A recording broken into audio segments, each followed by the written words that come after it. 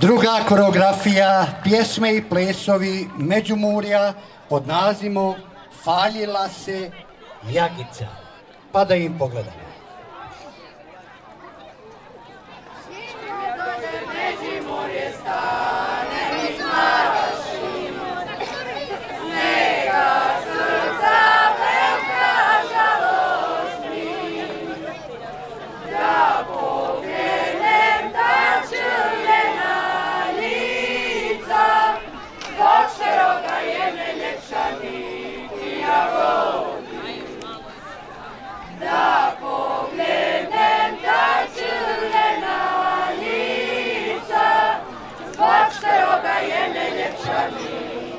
Chicago!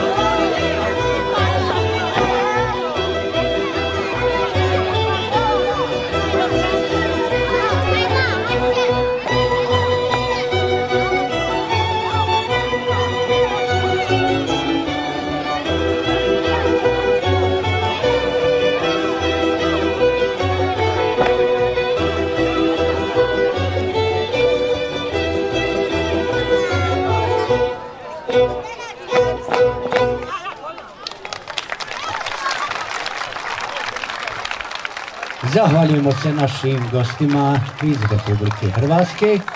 Uz napomenu, svi učesnici će nakon programa, kad se završi, biti zajedničko druženje, odnosno večera u prostoriji društvenog doma.